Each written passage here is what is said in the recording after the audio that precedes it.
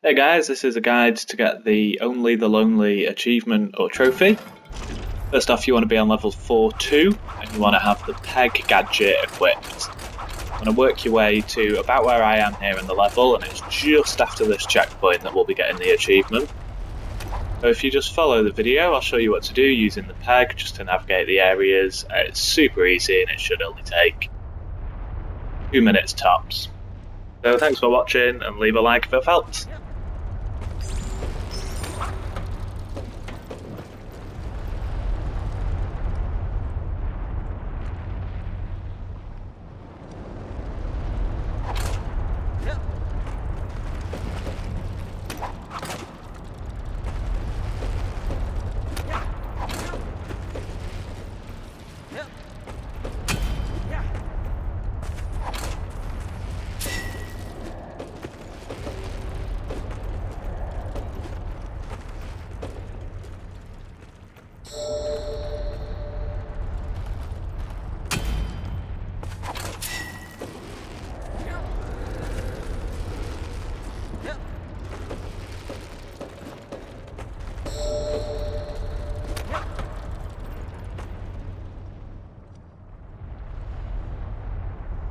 Thank you.